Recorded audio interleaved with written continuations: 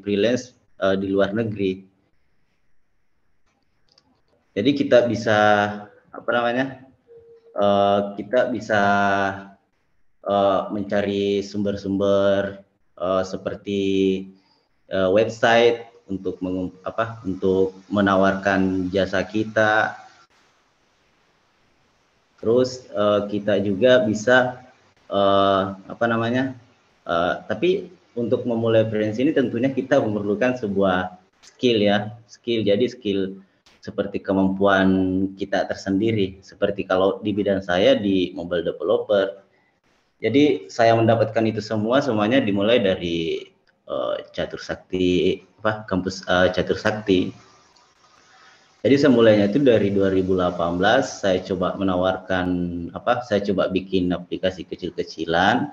Kemudian saya uh, coba sharing ke teman-teman mahasiswa di luar Kendari seperti di Jogja, di Jakarta. Jadi saya cuma menawarkan apa yang sudah saya buat tapi saya tidak meminta sebagai pembayaran saja tapi saya cuma minta hanya sharing referensi saya. Jadi kalau misalnya ada orang yang ingin uh, membuat sebuah aplikasi atau program, jadi saya cuma minta direferensikan doang. Jadi saya cuma uh, jadi uh, aplikasi yang saya buat itu saya se apa sharing secara percuma-cuma dulu sebagai ya anggaplah uh, promosi ya.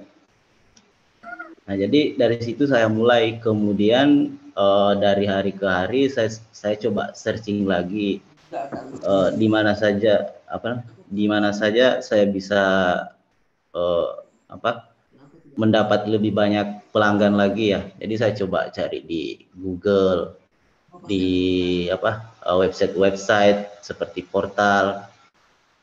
Tetapi uh, kalau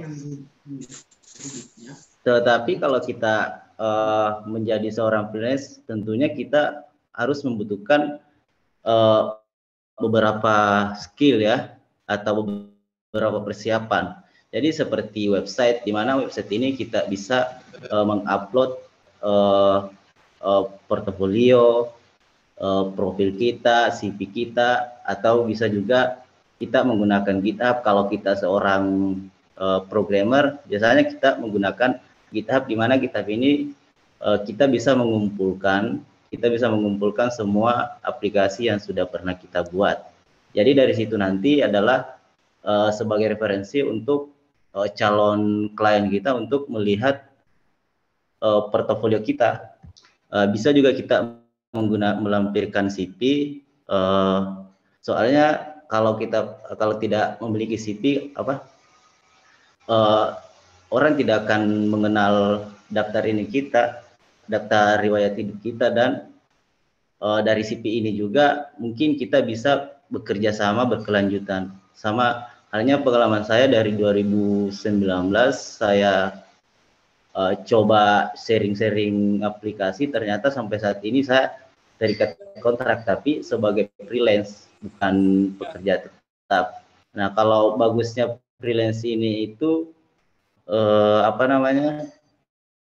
Eh, kita bisa mengambil beberapa pekerjaan walaupun kita basicnya uh, Android kita bisa juga mengambil pekerjaan seorang desainer uh, desain logo desain website atau menulis sebuah artikel nah kalau kita tidak bisa kan kita bisa minta uh, bantuan orang lain tapi uh, dari situ uh, saya juga menjadikan portofolio itu walaupun itu pekerjaan orang lain jadi itu juga menjadi nilai tambah untuk kita menjadi seorang freelance. Jadi klien ini semakin apa ya, semakin tambah percaya pada kita.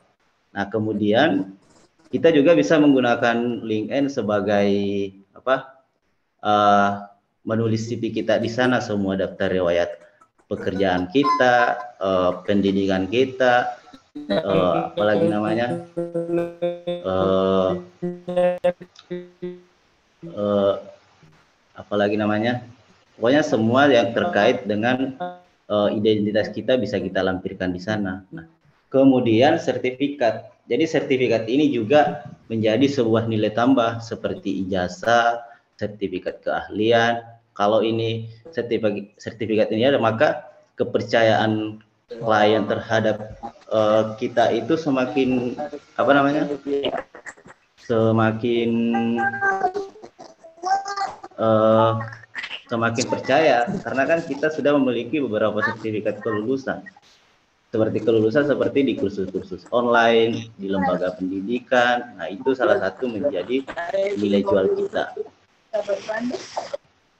nah kemudian uh, kemudian uh, link referensi yang sering saya gunakan untuk menawarkan uh, apa namanya pekerjaan saya yaitu ini beberapa seperti Upwork, Scribblencer di itu Scribblencer itu untuk di Indonesia, uh, Upwork global, Envato, uh, freelance apa freelance, Beaver, Password, Top Toptal, Projects itu uh, Indonesia dengan 9 Indonesia. Jadi tapi saya lebih sering menggunakan Upwork dengan uh, Envanto. Jadi uh, Upwork ini juga menyediakan banyak uh, jenis freelance yang bisa kita tawarkan seperti jasa desainer, uh, mobile developer, uh, apalagi namanya uh, penulis artikel. Jadi di sana kita cukup melakukan pendaftaran saja. Nah, nanti kita tinggal menawarkan apa yang kita bisa dan juga kita akan melampirkan portofolio kita di sana sehingga uh, calon klien ini bisa melihat uh, portofolio kita. Nah, kemudian yang di Envanto ini juga uh, banyak sekali yang uh, bisa kita jual di sana. Jadi Envanto itu bisa tempat penjualan sebuah kayak tem, kayak tem website atau aplikasi. Ya, jadi kalau cocok itu untuk orang-orang yang lagi belajar saya juga dulu kayak gitu kalau misalnya saya ingin belajar bikin uh, aplikasi uh, saya coba membeli sebuah tema kemudian uh, saya pelajari uh, apalagi namanya apa yang ada dalam isi aplikasi tersebut nah uh, setelah itu baru kemudian saya coba bikin sendiri uh, kemudian saya tawarkan atau jual balik tapi bukan jual barang yang habis dibeli ya bukan. Jadi uh, yang kita jual itu apalagi namanya? Uh, ya seperti di sini. Jadi banyak sekali yang bisa kita seperti web template, template, kode. Jadi saya membeli kode di sini, kemudian saya pelajari. Nah setelah itu uh, baru saya bikin sebuah aplikasi, kemudian saya jual balik di sini. Nah, nanti di sini itu akan banyak apa uh, penawaran dari saya juga mendapatkan beberapa klien dari portal ini. Jadi saya membuka sebuah jasa freelance melalui portal ini juga. Nah, tapi ini bukan berarti portal ini untuk uh, kayak menawarkan jasa, tapi di sini kita menjual, kemudian kita uh, lampirkan bahwa saya menyediakan freelance. Nah, dari situ saya mendapat klien, saya di uh, apa namanya dihubungi apakah uh, bersedia seperti kontrak kerja dan lain-lain. Nah, nah, setelah di situ saya berhenti menjual aplikasi di sini karena saya sudah apa dari situ semua uh, klien uh, apa menawarkan kontrak kerja. Jadi semua aplikasi saya dari sini saya hapus. Jadi kalau ada teman-teman yang mau lagi belajar bikin coding atau mempelajari sebuah uh, bikin desain, uh, teman-teman bisa beli di sini. Kemudian nanti teman-teman bisa uh, belajar sendiri, sharing. nah, kemudian uh, apa lagi namanya? Kemudian di apa saya juga uh, di ini di Upwork ini jadi di Upwork ini uh, uh, kita bisa menawarkan hampir sama dengan uh, apa freelance ini. Irvanto dengan Upwork ini berbeda. Kalau di uh, Upwork ini kita hanya menawarkan uh, jasa kita ya, jasa kita. Uh, bukan menjual produk seperti yang saya jelaskan tadi di uh, Envanto itu. Nah, jadi di sana kita bisa menawarkan jasa atau uh, membuka sebuah uh, apa namanya uh, lowongan. Jadi saya juga di sini kadang kalau saya tidak bisa menghandle sendiri, saya mencari uh, apa namanya? Saya mencari teman uh, melalui portal ini. Tapi ketika saya menawarkan klien tetap menggunakan uh, nama saya. Nah, sehingga itu akan menjadi portofolio kita dan itu akan menjadi nilai jual kita. Semakin banyak portofolio kita yang yang kita kumpulkan, semakin uh, klien itu semakin percaya dengan kita terus uh, apa lagi namanya ini ini kalau ada yang mau teman-teman akses ini ini ya di upwork.com jadi di sini lumayan saya juga kemarin baru-baru apa ya ya jadi withdrawnya di sini itu tiap satu minggu boleh tiap hari Rabu boleh jadi hanya tiap satu minggu uh, untuk withdraw pendapatan kita jadi di sini saya sudah menyelesaikan beberapa kerjaan. Di sini kerjanya cuma sederhana doang. Kita cuma bantuin upload aplikasi. Uh, adalah yang bisa kita yang bisa kita yang bisa uh, dibayar bisa juga bekerja berdasarkan per jam. Jadi saya menawarkan jasa saya di sini itu uh, 21 dolar per jam. Nah, jadi Oh, banyak sekali, hanya sederhana kerjanya cuma di rumah. Jadi kalau ada yang teman-teman mau banyak sekali. Kalau portal yang sering saya ini ini Upwork dengan uh, Enpanto ini.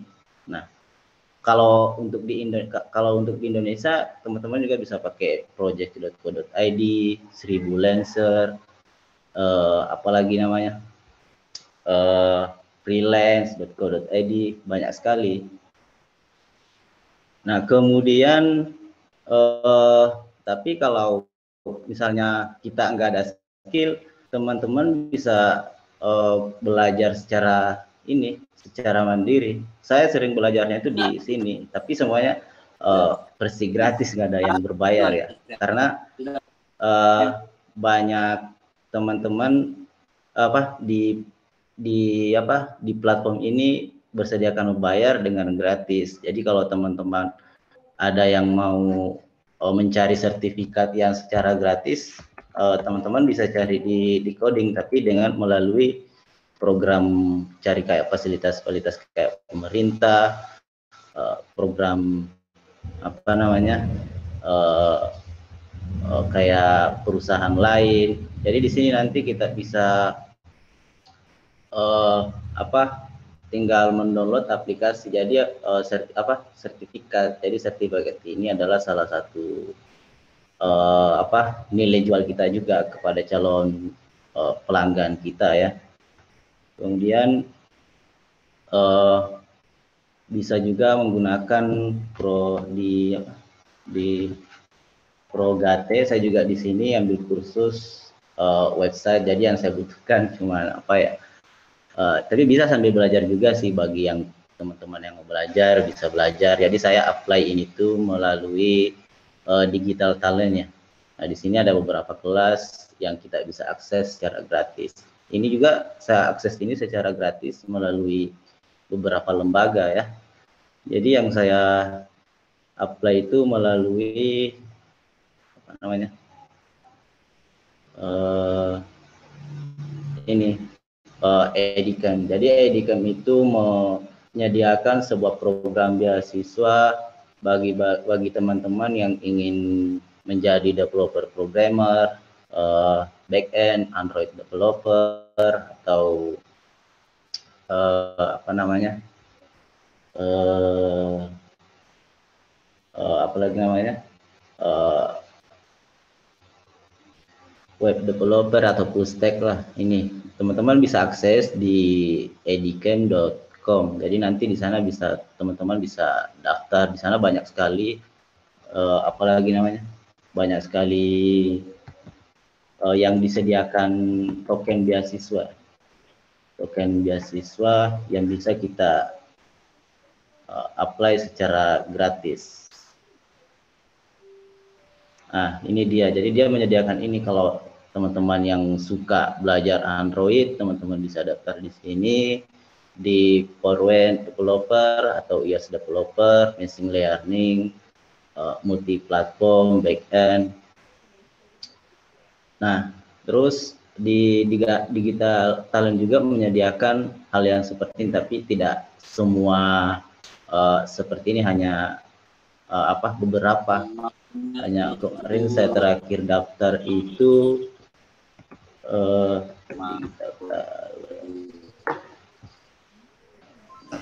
jadi di sini juga teman-teman bisa daftar. Nah, di sini banyak sekali yang teman-teman bisa apply jadi bagi teman-teman yang mau belajar bisa mengakses kedua website ini untuk mendapatkan token secara gratis ya. Nah, jadi selain itu uh, di kelas ini kita akan ditawarkan pekerjaan setelah selesai kalau kita memenuhi kualifikasi ya. ya begitupun dengan di digital talent ini. Jadi pengalaman saya itu selama tiga terak tiga tahun terakhir ini ya itu doang. Cuman freelance itu dari tahun 2018 sampai saat ini. Dan saya sekarang uh, apa namanya menghandle di tiga di lima perusahaan di Indonesia ya. Dulu waktu masih kuliah di Catur Sakti saya sering ambil proyek dari luar negeri ya ambilnya dari dari sini dari Enfanto ini nah jadi dari luar negeri itu saya menggunakan uh, saya nggak bisa bahasa Inggris ya, tapi saya bisa memanfaat, memanfaatkan fasilitas yang ada ya, ya seperti uh, Google Translate. Nah, di situ kita bisa uh, memanfaatkan itu untuk kita berkomunikasi uh, dengan klien. Nah, dari situ saya uh, semenjak kuliah saya coba uh, apa cari-cari uh, uh, apa namanya uh, portal web yang menyediakan jasa freelance, uh, apalagi namanya uh, juga belajar secara otodidak. Tapi semua itu saya sangat uh, bersyukur mengenal seperti apa itu komputer. Karena uh, seperti yang kita lihat saat ini adalah semuanya itu serba digital ya. Jadi apa-apa semuanya sekarang serba digital. Mungkin uh, kebutuhan apa ke depannya itu uh, teknologi ini menjadi sebuah kebutuhan. Uh, sudah 11-12 dengan yang namanya kesehatan. Nah, kalau kesehatan kan eh wajib kalau kalau kalau ke depannya kan ke teknologi ini pastinya menjadi sebuah kebutuhan uh, masyarakat ya. Jadi kalau yang teman-teman saat ini yang kuliah di Catur Sakti bisa mengasah skill teman-teman karena saya yakin ke depannya itu sangat dibutuhkan di berbagai bidang entah itu di instansi entah itu di uh, perusahaan saya yakin itu Nah, tapi kalau di freelance ini teman-teman akan bisa bekerja di mana pun, entah itu mau kerja di uh, apa di instansi secara freelance atau di perusahaan. Tapi kalau saya semuanya banyak yang nawarin kerja tetap, tapi saya tetap pilih freelance karena saya bisa mengatur waktu saya sendiri, kapan saya mulai kerja, saya mau bekerja sama dengan siapa, gitu. Nah, cuman kesulitan saya saat ini adalah uh, banyaknya permintaan yang tidak bisa saya handle dan kekurangan ASDM.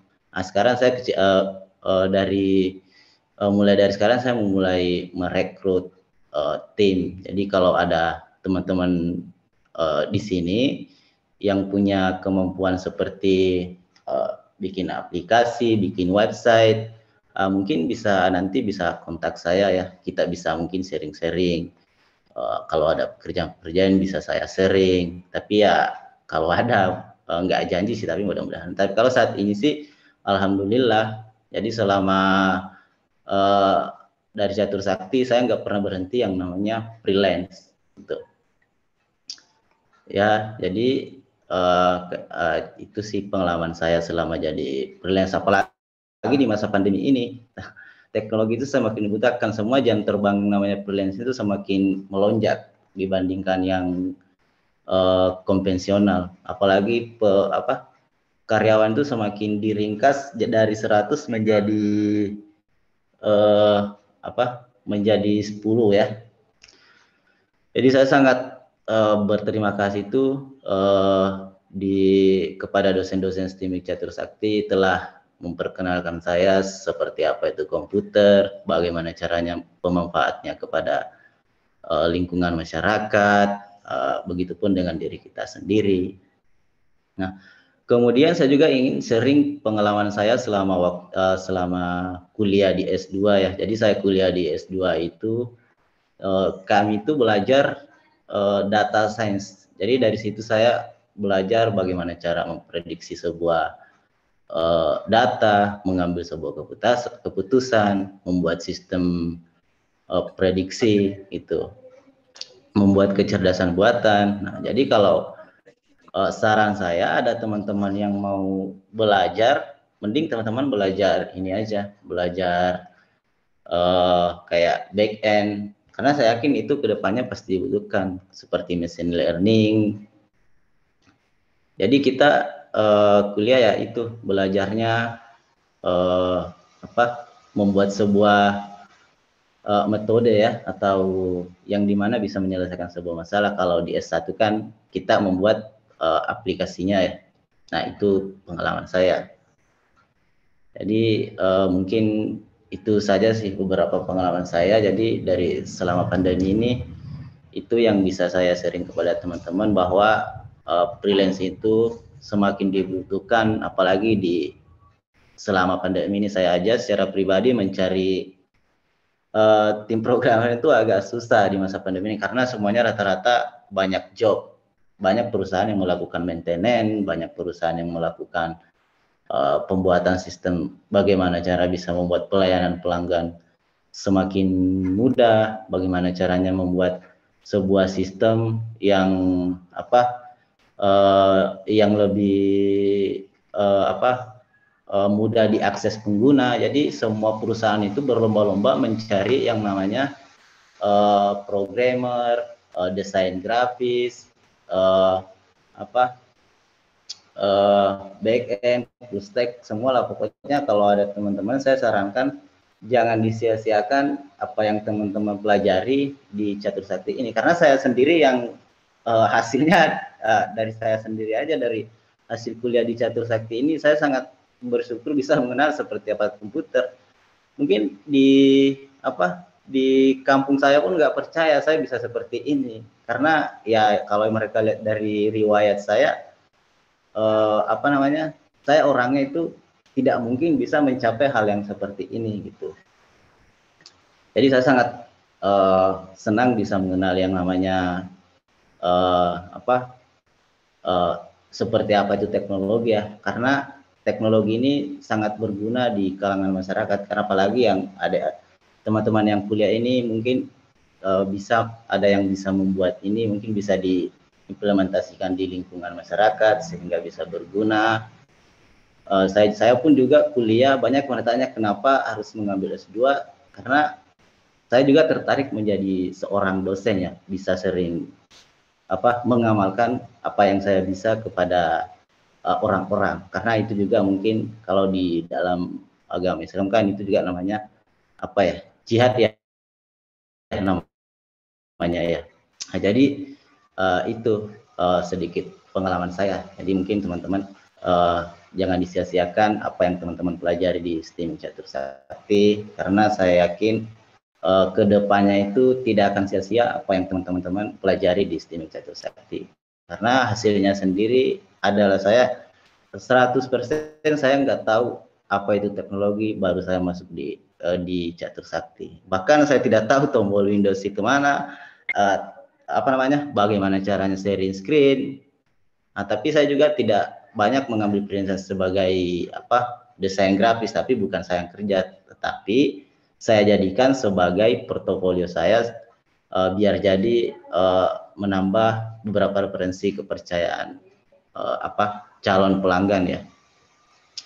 Ya mungkin itu yang bisa saya sering kepada teman-teman. Kalau ada teman-teman yang bertanya ya silahkan.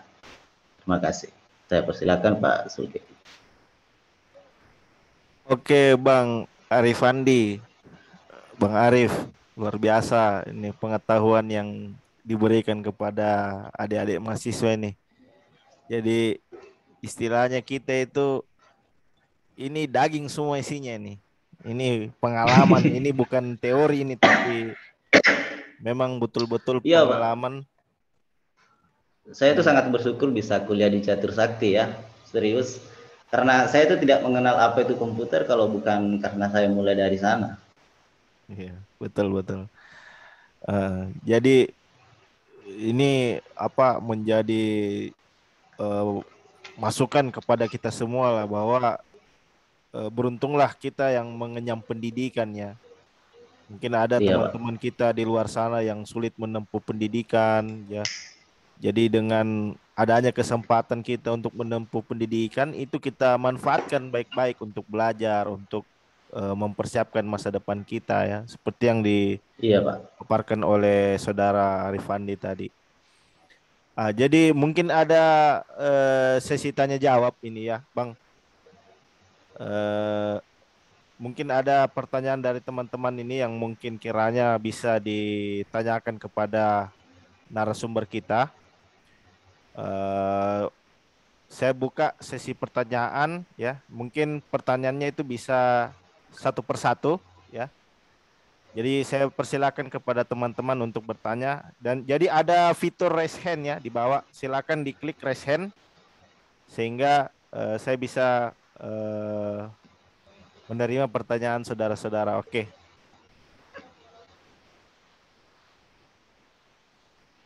Siapa yang ingin bertanya? Bisa raise hand mungkin? Saya Pak. Oke. Oke, saudara Ahyar ya. Oke, ya. saudara Ahyar, silakan di ditanyakan apa yang ingin ditanyakan kepada uh, narasumber kita, Bang Arifandi. Oke.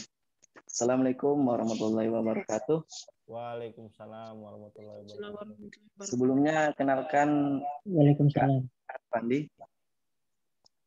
Mungkin sudah kenal juga ya? Karena Iya, mungkin. Facebook. uh, ini uh, saya ingin bertanya terkait dengan materi yang disampaikan pada malam hari ini. Ini sesuai juga dengan apa passion saya maksudnya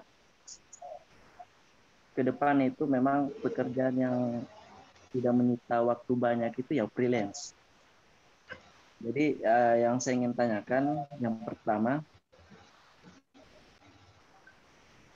selain dari uh, apa yang telah dipaparkan tadi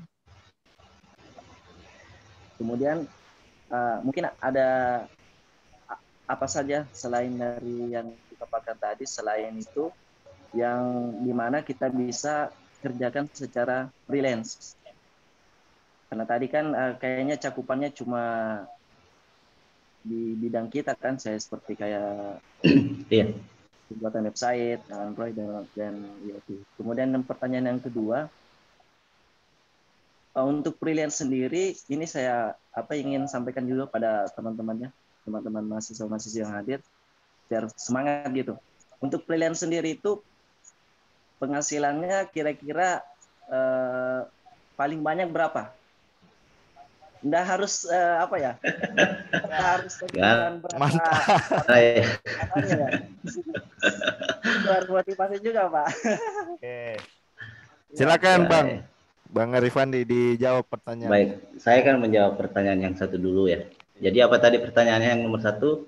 uh, di selain mencangkup uh, apa tadi yang kita bahas tadi ini ya tadi alasannya saya bahas tadi itu karena sesuai dengan profesi saya ya nah jadi kalau kita kalau pertanyaannya uh, kalau selain dari uh, programmer itu banyak. Bukan hanya freelance bukan berarti programmer ya bukan. Bisa berupa seorang desainer bisa seorang dokter, bisa seorang penulis jurnal, uh, bisa juga uh, seorang apa tukang kayu. Itu kan semuanya bisa freelance. Jadi bahkan dokter yang kerja tetap pun bisa menjadi seorang freelance. Jadi tidak harus uh, apa tidak harus kita jadi seorang programmer baru bisa dibilang freelance karena freelance itu kan se seorang yang pekerja lepas bisa dipanggil kapan saja uh, ketika orang butuhkan. Nah itu. Terus uh, yang kedua, uh, gimana ya? Nggak enak. Oke okay lah, saya kan sering uh, kalau kita berbicara seorang apa penghasilan di freelance ini memang lumayan menggiurkan ya. Jadi sebelum uh, saya lulus dari Jatuh Sakti itu uh, saya lebih penghasilannya tuh dari luar negeri ya. Tiap bulan saya bisa mendapatkan sampai 5.000 dolar, bukan bukan maaf ya kalau saya sebut uh, nilainya. Terus uh, bukan rupiahnya jadi 5.000. Itu hanya itu hanya uh, luar negeri. Saya tidak pernah mengambil dari lokal. Nah, setelah uh, dari tahun ke tahun saya coba mencari di lokal uh, apa namanya?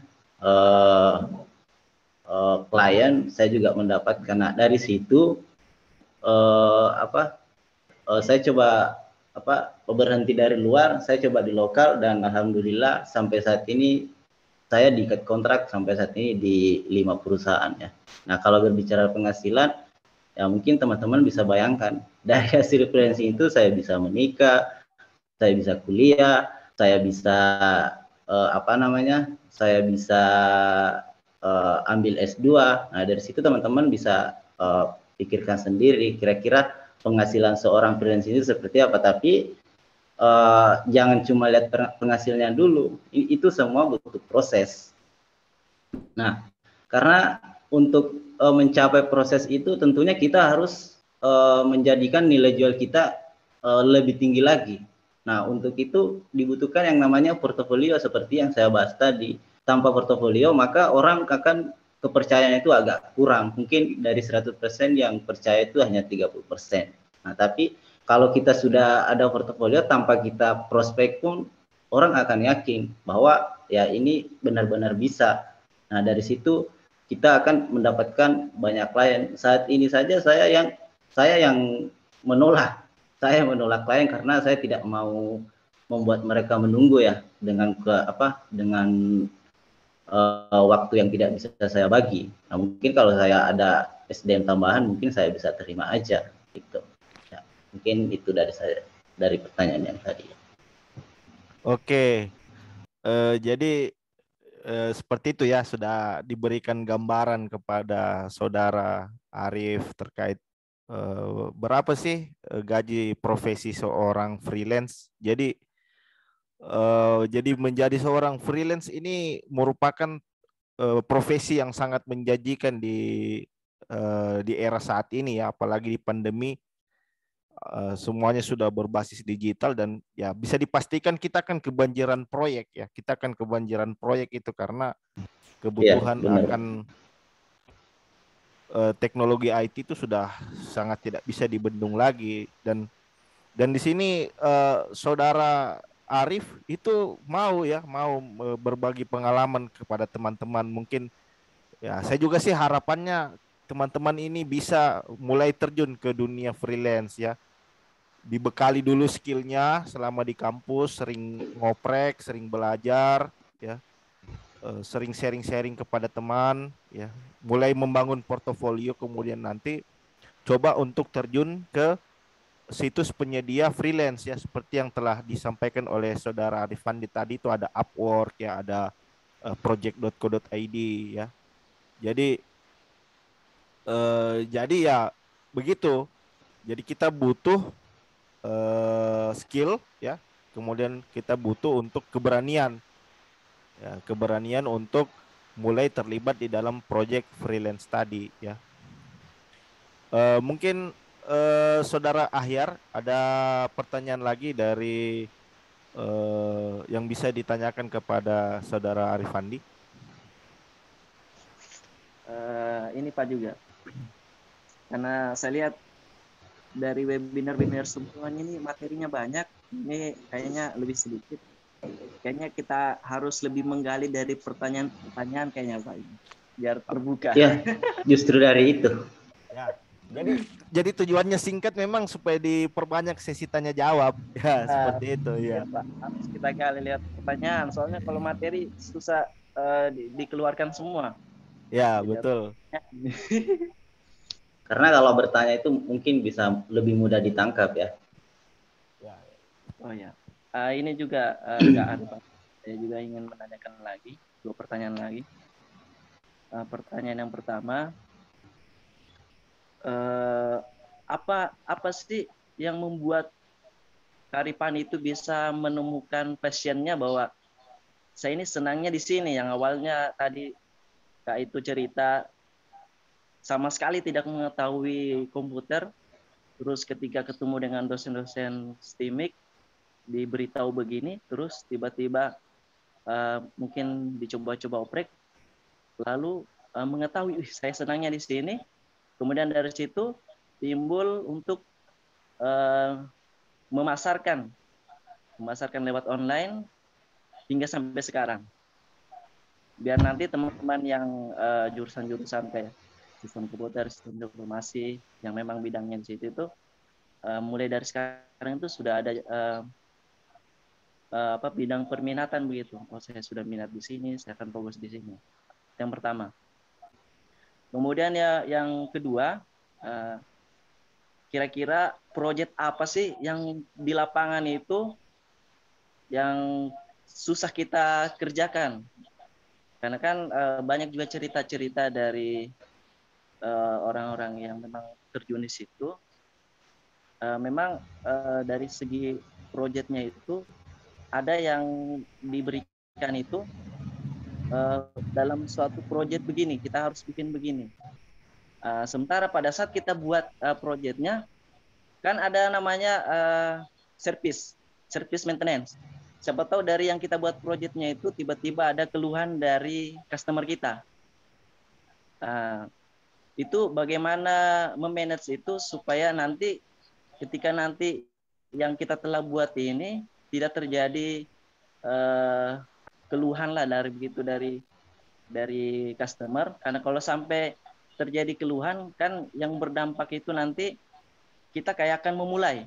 Apalagi kita sudah buat proyeknya kemudian tiba-tiba sudah mau selesai lalu disuruh ternyata bukan gini. Itu kan sama dengan kita memulai sebuah proyek baru jadi kan pasti ada uh, solusi-solusinya uh, mungkin sebelum uh, kita mengambil proyek apa yang kita harus buat apakah harus ada um, tanda tangan materai atau harus ada syarat-syaratnya begini-begini supaya nanti pas proyek jadi ya kita anda pikirkan lagi proyek yang ini artinya kalau ada proyek yang baru lagi yang kita fokus lagi itu saja mungkin. Oke, mungkin baik. Saya kan uh, menjawab pertanyaan yang pertama ya. Jadi pertama pertanyaan yang pertama itu apa yang membuat tertarik di profesi ini ya? ya. Jadi apa yang membuat saya tertarik di profesi ini itu pertama-tama jadi awalnya itu saya bikin sebuah aplikasi pertama saya ya. Saya bikin sebuah kalkulator-kalkulator ternyata eh saya tuh heran kenapa bisa dihitung kayak gini kan. Jadi saya merasa semakin penasaran saya coba bikin-bikin lagi, saya bikin-bikin lagi, eh ternyata lebih asik, lebih asik kan ngodingnya. Nah terus uh, profesi ini tuh menurut saya itu profesi yang keren gitu. Coba aja teman-teman bilang, kalau ada yang teman-teman bilang, oh itu, oh itu programmernya, itu itu kan kayak keren kalau dibilang itu orang IT, itu programmernya, itu yang bikin, kan itu salah satu kebanggaan tersendiri ya. Nah, terus uh, apalagi namanya yang membuat saya tertarik itu? Karena saya bisa membuat sesuatu di mana bisa dimanfaatkan di kalangan masyarakat dan itu sangat berguna bukan hanya bikin asalan-asalan aplikasi ya. Jadi kita ketika kita membuat sebuah aplikasi itu kita harus bisa uh, apa memprediksi bahwa ini akan berguna di lingkungan masyarakat. Jadi aplikasi kita itu tidak sia-sia. Terus uh, apalagi namanya ini? Uh, yang membuat tertarik saya juga itu karena uh, pekerjaan seperti itu semacam pekerjaan yang unik ya, tidak semua orang bisa dan memang hampir uh, jarang yang bisa uh, apa uh, apa bekerja di bidang ini karena ya dibutuhkan yang namanya kesabaran.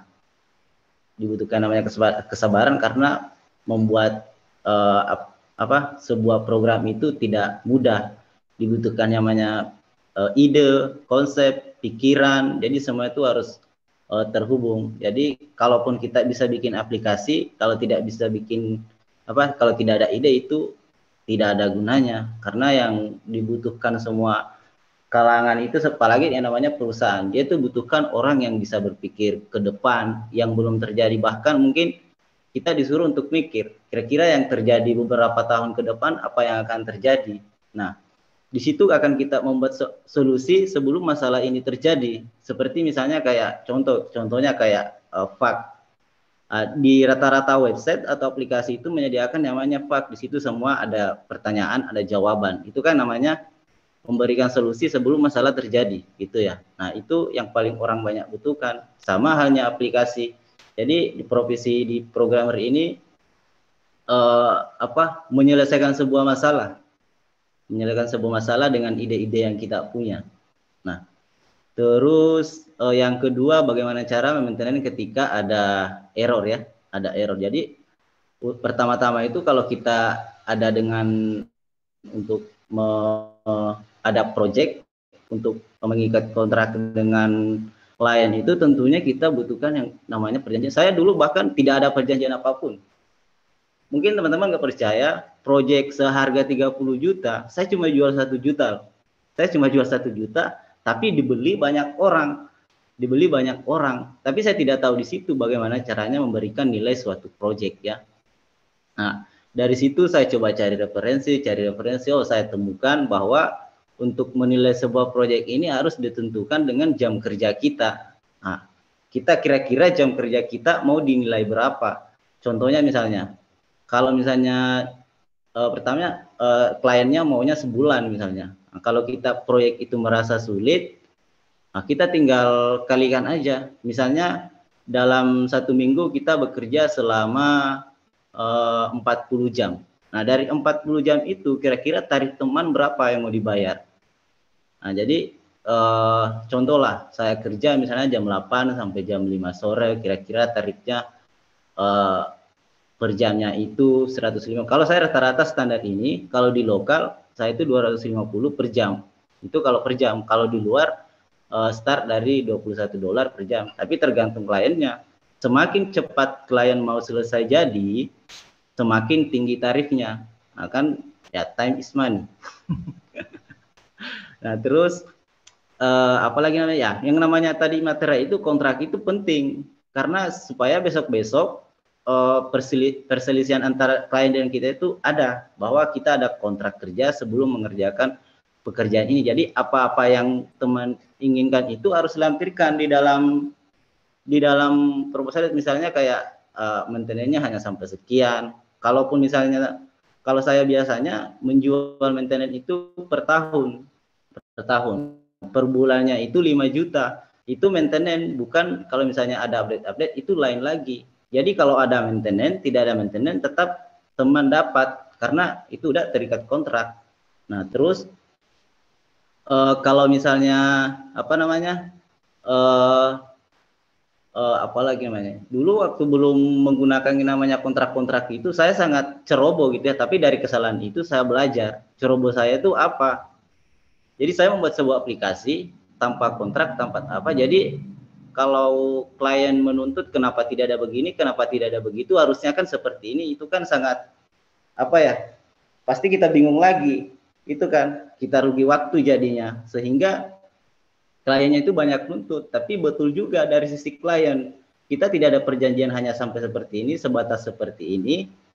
Tiba-tiba kita langsung uh, buat kontraknya. Nah dari situ saya banyak mungkin sebenarnya bukan rugi sih, tapi malah menguntungkan bagi saya saya rugi sekali, saya untung berkali-kali gitu ya.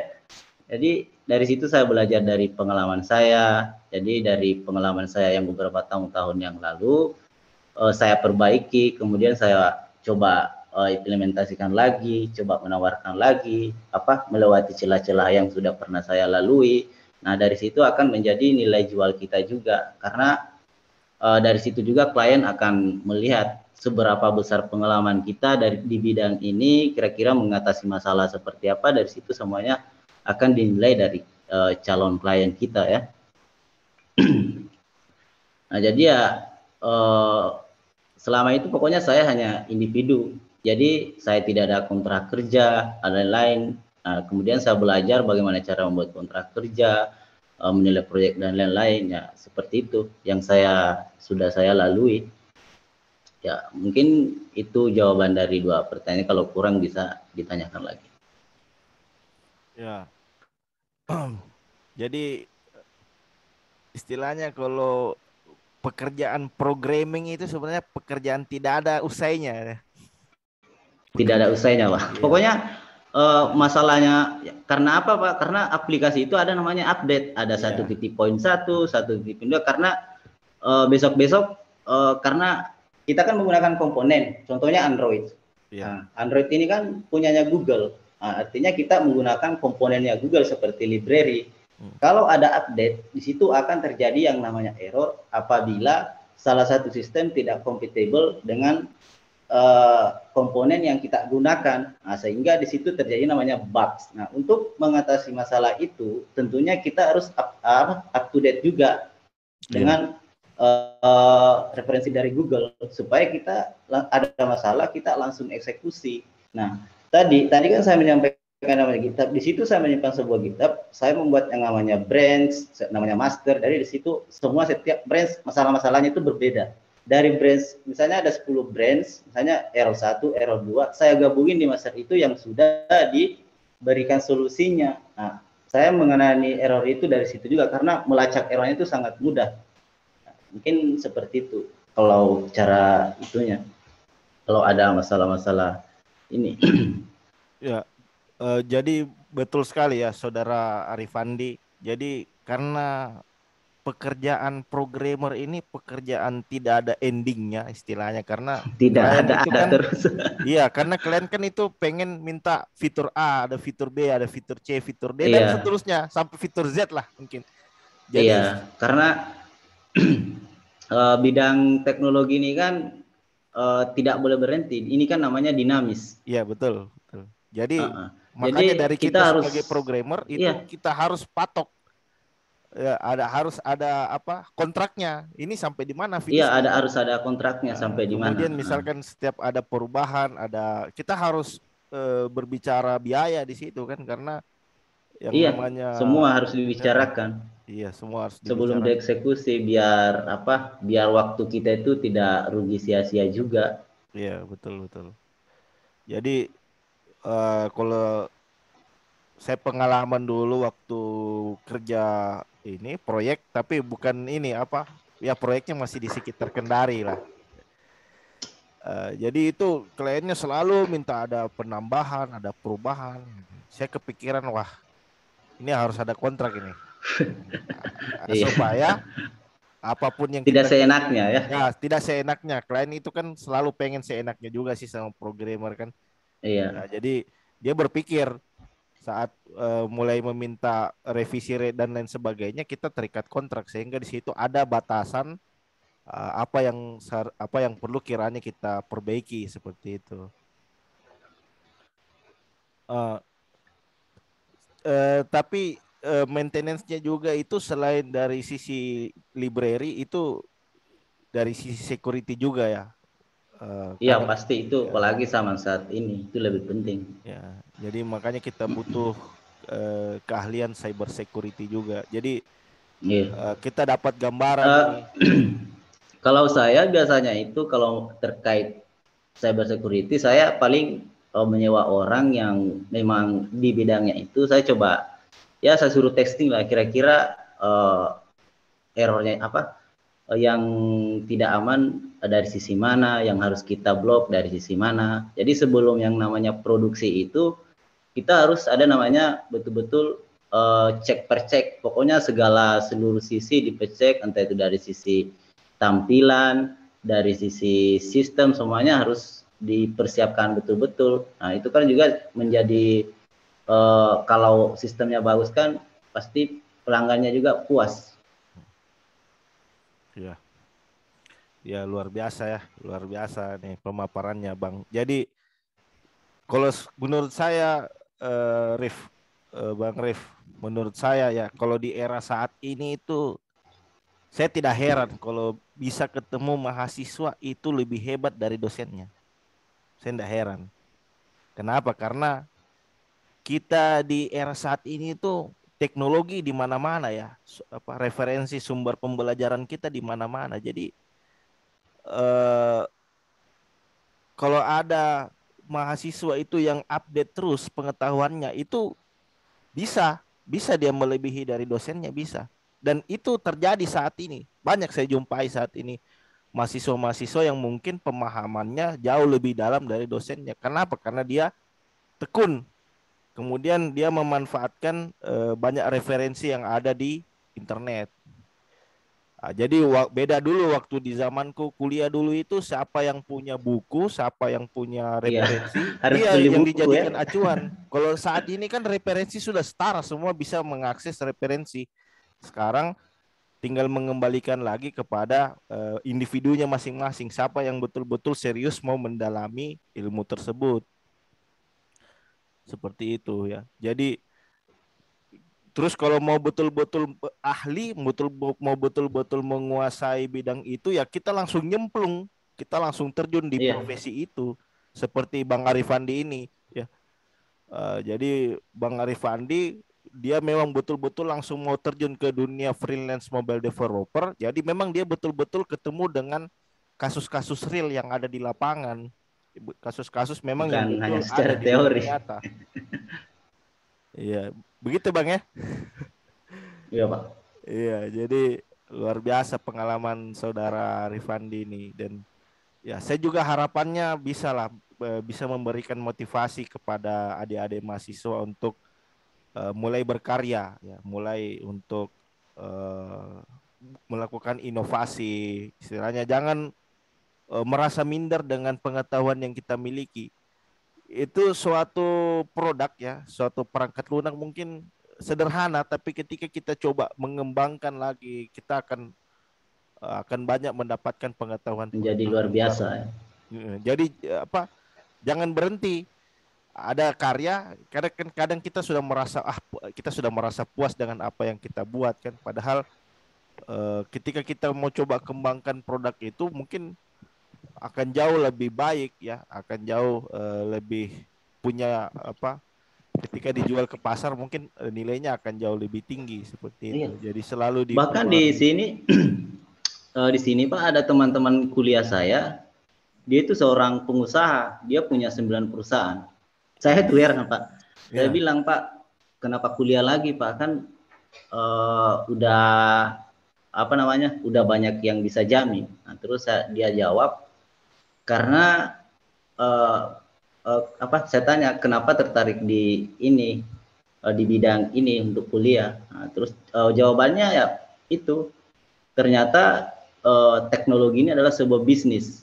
Yeah. itu kan dia pelajari itu. Jadi dia belajar itu bukan mencari ijazahnya tapi uh, untuk mengetahui cara kerjanya itu seperti apa. Nah di, uh, nanti apa di situ dia bisa dapat peluang. Ternyata uh, bisnis uh, teknologi ini sangat apa sangat berguna di masa depan seperti hosting, jasa dan lain-lain, server banyak sekali. Saya juga heran dia dia kuliah di saat ini dia kuliah uh, tiga kampus, tiga kampus uh, apa bersama iya Pak. Iya, iya, Sekarang gelarnya malah dia umurnya baru 39 Pak. Masih iya. masih agak muda sih menurut saya. Tapi luar biasa dia tidak berhenti ini mencari pengetahuan pengetahuan seperti itu. Karena kan kalau dibayangkan kalau dipikir dia kan sudah ada ya. yang tanggung untuk apa lagi ya. Tapi dia tidak berhenti untuk mencari sebuah pengetahuan yang bisa diimplementasikan lagi. Ya, itu betul. jadi be betul sama sama betul dengan kasusnya dulu waktu saya lanjut S2 dulu. Di UGM dulu begitu. Ketemu ketemu. Ketemu sama teman satu angkatan itu yang istilahnya kalau saya kan dulu itu ada beberapa teman itu kita lewat jalur iya, reguler, lewat jalur beasiswa. Dia memang lewat ini jalur jalur reguler. Mandiri. Pengennya mau kuliah. Jadi pengen nambah ilmu, nambah pengetahuan. Tujuannya untuk melihat peluang bisnis yang ada ke depan gitu. Iya. Iya. Jadi rata-rata saya teman begitu. Saya banyak ketemu teman seperti itu yang eh, pendidikan itu bukan ijazah, bukan istilahnya hitam di atas putih. Dia dia enggak pikir Bukan. masalah ijazah dan lain sebagainya. Dia, dia memikirkan ilmu yang kira-kira punya uh, peluang ke depannya. Uh, dia memikirkan ilmu dia. Jadi yang dicari itu ilmunya. Adapun dia dapat iya. gelar itu urusan bonus itu. Istilahnya iya. kalau dia alhamdulillah bisa selesai menyelesaikan studi di kampus itu ya alhamdulillah dapat ijazah alhamdulillah tapi yang dia prioritaskan selama kuliah itu dia dapat pengetahuan dia dapat ilmu sehingga uh, dia bisa mengembangkan sayap bisnis kira-kira akan ke mana sih arahnya bisnis ke depan iya. ini uh -uh.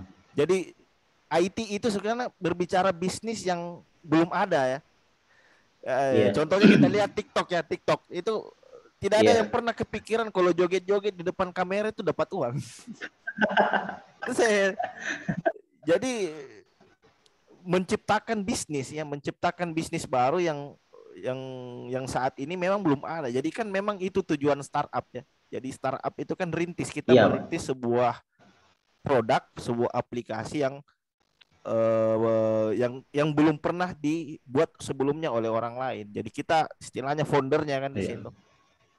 Iya. Jadi uh, luar biasa ini Bang Arifandi ya pengalaman-pengalaman yang diberikan kepada adik-adik mahasiswa dan ya saya harapannya uh, kegiatan ini bisa berkelanjutan lah. Uh, kegiatan iya, ini bisa uh, berlanjut terus menerus dan teman-teman adik-adik mahasiswa juga bisa uh, mulai action ya. Jadi motivasi mungkin sudah banyak sekali ya kita berikan dari dosen, dari mahasiswa, dari, dari orang tua. Mungkin motivasi sudah banyak tapi yang perlu kita lakukan saat ini itu adalah tindakan.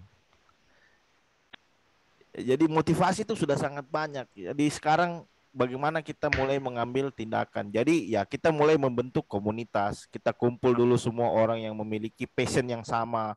Kemudian kita mulai berdiskusi, mulai memikirkan kira-kira produk apa sih yang kira-kira ini bisa kita uh, pasarkan keluar yang yang nantinya tentu saja uh, bisa menghasilkan uang yang banyak ya kepada kita ya seperti itu iya. kan kalau saya biasanya itu uh, paling uh, semua kayak saya itu memanfaatkan Play Store kemudian saya cari riset ada namanya riset komentar ya kayak ya, contohnya betul. bintang satu bintang dua bintang tiga jadi berdasarkan komentar yang buruk itu kita coba pikirkan kira-kira solusi apa yang bisa kita berikan kepada mereka sehingga betul, betul. dari situ kita bisa membuat sebuah produk itu. ya, betul betul betul itu salah satu teknik melihat iya. peluang ya berdasarkan komentar iya, ya, testi testimoni dari pengguna iya. betul. Uh, Oke, okay, uh, eh, mungkin uh, ini jam sudah mau menunjukkan jam berapa ini? Uh, mungkin kita bisa sudahi pertemuan kita di malam hari ini ya. Uh, Sebelumnya saya terima kasih banyak kepada Arif, Bang Arif sudah mau meluangkan waktunya berbagi pengalaman, teman-teman mahasiswa yang sudah uh, menyempatkan hadir untuk di webinar malam hari ini. Uh, terima kasih banyak. Uh, mungkin saya bisa tutup uh, pertemuan ya, kita Pak. di malam hari ini. Uh, Pak, jadi, Pak. ya? Ya. Nggak anu, Pak Eh, sedikit lagi Pak, ada yang mau tanyakan sedikit saja Pak. Oh, oh ya silakan. Ya silakan silakan silakan. Gimana? Iya Pak. Ya. Eh kan ma minta maaf juga nih sebelumnya Pak eh Pak Karifandi ini saya juga sempat kan tadi terlambat juga masuk. Eh saya juga ini sempat juga dengar tadi cukup tertarik juga kan yang sempat dijelaskan masalah freelance mobile developer dari beliau ini. Uh, di sini eh bagaimana ya? Eh dibilang di sini kayak waktu adalah uang. Saya lihat di sini. Time is money. Iya. Iya. Betul betul. Saya bilang ini kayak bagaimana tadi? Kayak terdengar luar biasa sebenarnya ini. Kalau uh, kalau kita ingin memang terjun langsung di bidang ini seperti itu. Eh, apalagi dengan pendapatan-pendapatan yang sempat kita ceritakan tadi uh, seperti itu uh, belum di luar negeri maupun lokal Nah, kemudian di sini juga yang hal-hal yang yang yang diperlukan yang seperti kita bilang tadi uh, unik, uh, jarang, uh, kita membutuhkan kesabaran, ide, memerlukan juga konsep dalam menyelesaikan masalah, memikirkan hal-hal apa yang diperlukan di masa depan. Nah, di sini yang saya ingin tanyakan, eh, hal-hal apa saja sebenar, sebenarnya nih Pak yang perlu kita lakukan untuk menumbuh kembangkan kita punya bakat ini Pak yang terkadang ini suka banyak malas-malas nih Pak memang ini. uh, uh. Iya, menurutnya kita Pak, saya mungkin itu saja dulu. Iya, iya. Terima Oke, kasih. Ya, Silakan kalau... Bang Arif di langsung dijawab saja. Iya. Kalau persiapan kan pastinya tadi saya sudah sampaikan adalah sebuah skill, uh, portofolio, uh, apa rajin-rajin membaca referensi. Tadi kan saya sudah lampirkan semua. Kira-kira kalau ada yang mau mengasah ilmunya bisa uh, di bidang apa tadi ini ada enam. Kalau teman-teman mau coba, teman-teman bisa coba. Teman-teman bisa pilih salah satunya. Teman-teman bisa tekuni di sini. Kalau misalnya mau berproses sebagai Android developer, developer uh, bisa daftar di sini. Nah, jadi daripada ini kan lumayan kan gratis uh, dari apalagi kalau selesai bisa ditawarkan kerja itu. Nah, terus uh, tentunya kita harus banyak-banyak uh, apa uh, memikirkan produk-produk yang sudah ada, kira-kira kekurangannya itu seperti apa, sehingga kita bisa uh, apa uh, sempurnakan sebelum diluncurkan yang namanya fitur baru. Karena pengalaman saya itu banyak klien saya itu dia cuma memikir, memikirkan memikirkan tapi tindakannya itu uh, tidak tepat dalam artian apa yang dia pikirkan ternyata sudah dieksekusi orang lain. Jadi sebelum terlambat kalau punya ide ya langsung dieksekusi saja. Nah, itu. Jadi yang paling penting itu kita harus pokoknya siapkan apa uh, untuk terjun yang namanya profesi freelance ini kita harus persiapkan semua itu pengalaman kerja, portofolio, portofolio apa saja yang sudah kita uh, kerjakan. Jadi itu semuanya akan dinilai dari sisi klien. Nah, seperti itu sih. Jadi kalau mau ya harus betul-betul mengasah uh, apa yang teman-teman bisa sehingga bisa uh, menempuh di dunia profesi freelance. Uh, bukan saya Pak, saya freelance mobile developer tapi saya juga menerima jasa pembuatan desain, jasa penulisan jurnal, tapi itu saya suruh orang lain. Nah, tapi dengan uh, untungnya bagi kita adalah portofolio kita itu bertambah sehingga nilai jual kita itu semakin tinggi. Semakin banyak teman-teman punya semakin banyak portofolio, semakin uh, nilai jualnya itu semakin naik. Jadi seperti itu. Oke, G gimana saudara Irham? Triputra ya bisa di ini ya uh, di ya Pak. Eh, lumayan juga uh, saya paham juga Pak uh, ini tapi selama selama Bapak uh, di bidang ini freelance ini uh, kendala yang paling sering Bapak sering dapatkan itu seperti apa? Kendala yang paling sering Bapak dapat dapatkan? Bisa dibilang yang tersulit lah Pak. Kalau ya kalau kalau dari profesi pastinya yang namanya error ya. Karena error itu kadang uh, kita baru buat hari ini lusa errornya sudah muncul. Sama kayak kita kayak di slogan misalnya. Ada dua slogan kita tutup yang satunya yang satunya kebuka lagi. Jadi gitu itu masalah masalah yang kedua uh, kerugian dari kalau uh, tidak ada yang namanya kontrak kerja karena kalau tidak ada kontrak kerja kita tidak ada hak untuk menuntut. Saya pernah rugi uh, saya malah menggaji orang tanpa belum diambil uangnya dari ini. Rugi saya di situ karena kontrak kerja saya tidak ada saya menuntutnya bagaimana? Nah jadi saya sudah kerjakan proyeknya sudah selesai kerugian saya mungkin bisa dibilang hampir 50 juta tapi nggak apa-apa. Itu adalah salah satu kesalahan kesalahan juga tapi pengalaman juga yang ke depannya yang bisa kita hindari nah cara menghindarinya kita tinggal buat uh, kontrak kerja sama aja apa yang mereka buat itu yang kita tulis dilampirkan kontrak. Besok besok ada masalah kita ada tuntutan. Apa yang saya buat seperti ini itu. Oh jadi memang ini Pak bisa dibilang ini kontrak kerja juga memang nomor satu nih Pak. Nggak bisa dianggap sepele begitu. Nggak bisa, nggak bisa. Besok-besok kalau kamu dituntut gimana? Kira-kira mau nuntut haknya itu seperti apa? Karena hak lain kan uh, apa yang dia minta itu yang kita buat. Jadi kalau kalau perlu yaitu lampirkan di kontrak. Jadi besok-besok kita ada bisa kita tampilkan ini buktinya bahwa sesuai dengan yang sudah kita tanda tangani di, di atas materai gitu. Oh iya Pak, betul betul Pak, betul betul. Uh -uh. Ya Pak. Jadi jangan sepelekan yang namanya hitam di atas putih itu, itu penting juga.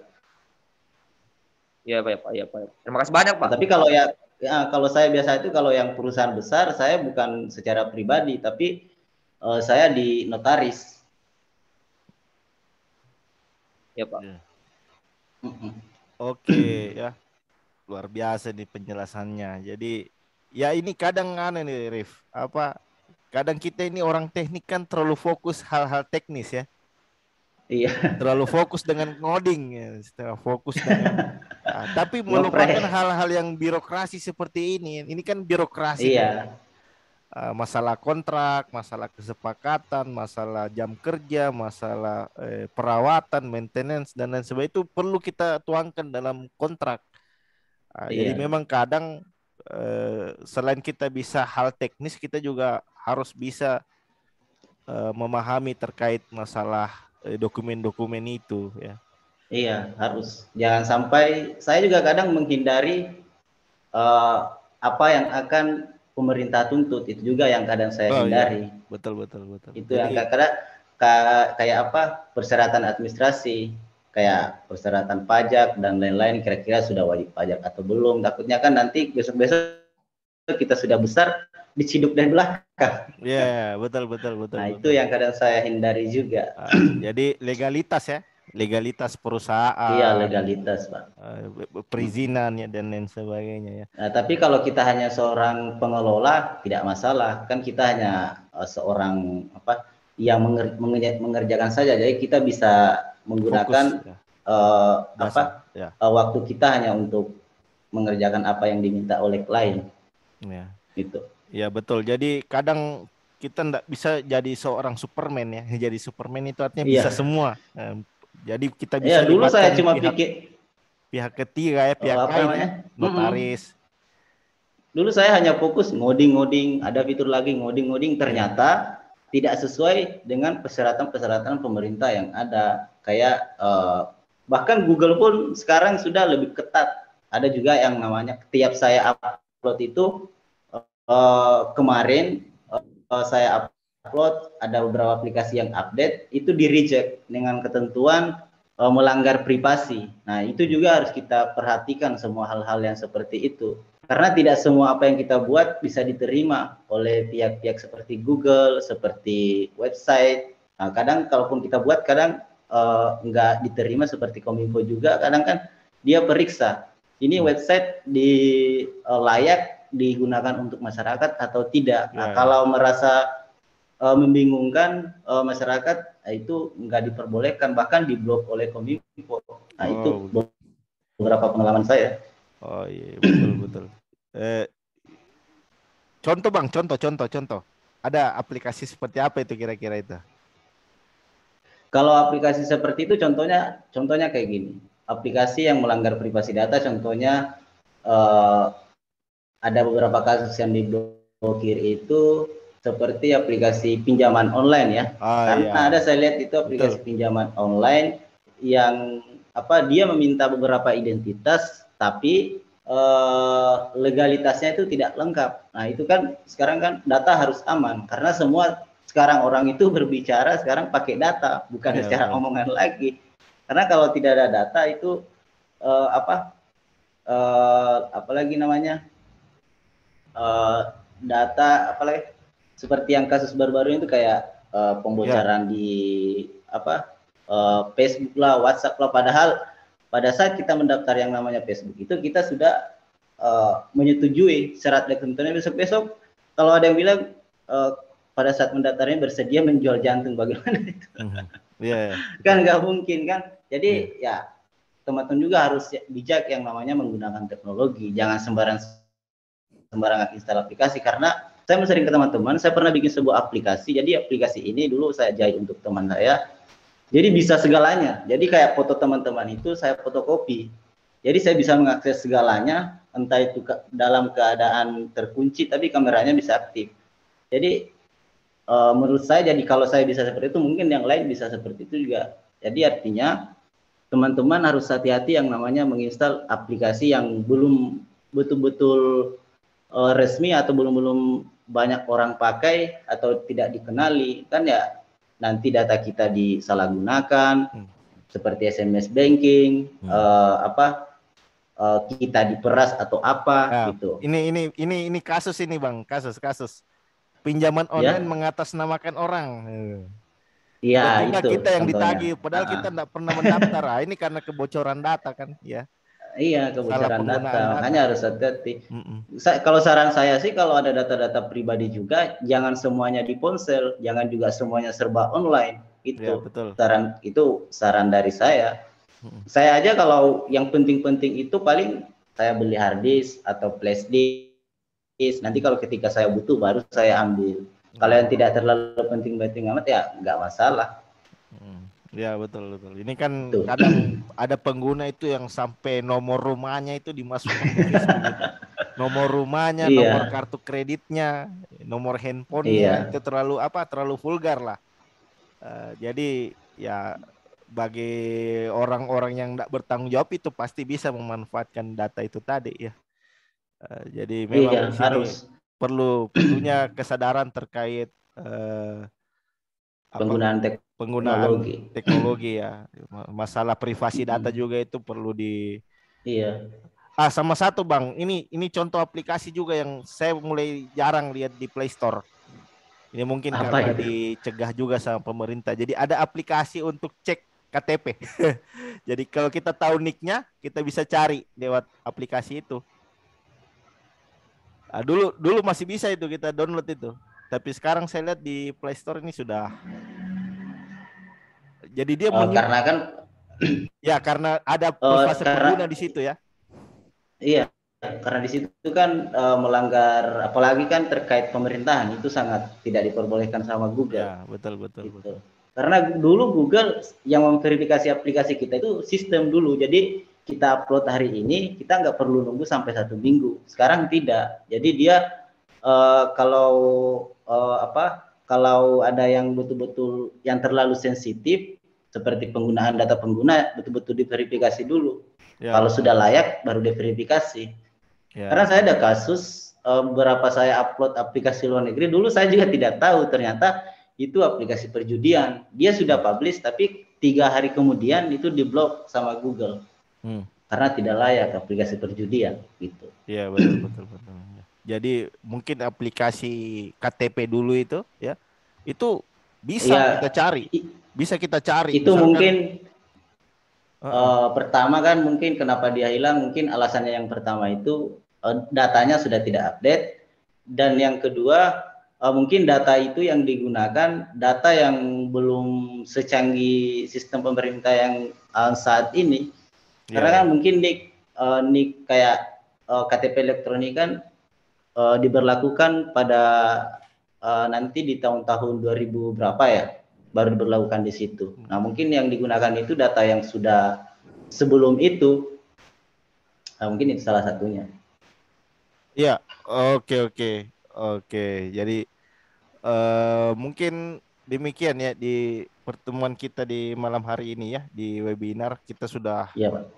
Uh, cukup uh, banyak pembahasan dan dan alhamdulillah ini membuka wawasan juga ya teman-teman ya termasuk saya itu mendapat pengetahuan baru dari apa yang dipaparkan oleh saudara Arifandi. Uh, mungkin kita bisa menutup pertemuan kita di malam hari ini. Saya harapkan mungkin nanti kita bisa undang lagi ya, saudara Arifandi. Iya pak, boleh pak, nggak apa-apa pak. Uh, untuk berbagi. Katanya freelance kan bebas. ah itu, enaknya freelance itu tidak terikat jam kerja dia. iya. Uh, Gak ada kasih si foto-fotonya nih pak? Uh, ya uh, mungkin kita bisa sesi foto dulu sebelum kita usaikan pertemuan hari ini. Jadi di sini ada dua slide ya. Uh, mungkin teman-teman bisa diaktifkan camnya semua. Oke. Diaktifkan camnya dulu semua. Kemudian tunggu sebentar. Oke.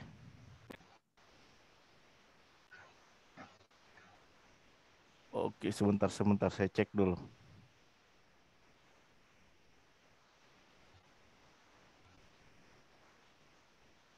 Oke.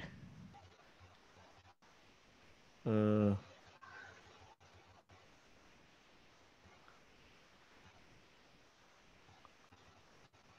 Uh, sebentar, sebentar. Oke, oke, sudah.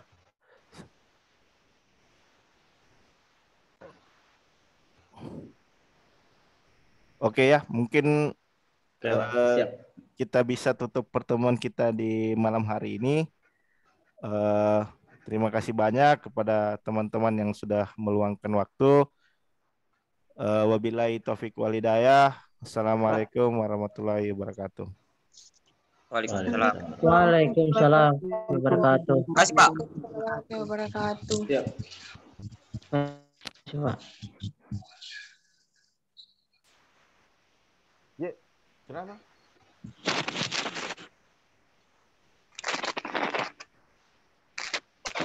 Kenapa? Ah, ada ji anu, ada ji ini. Ada ji adanya anu, mamanya Ira sama adanya. Ada ji. Masalahnya anu, mati wifi-nya di sana jadi saya anu di sini dulu. Mati ke mana? Habis mau dibayar lagi, beh. Mau dibayar kah? Iya, tapi jangan nih. Saya, saya sudah beli mie kuota itu hari. Tidak, bulan lalu itu. Dia berakhir tanggal berapa kemarin itu? 20. Tapi tidak bisa mi- diakses, dia minta anu.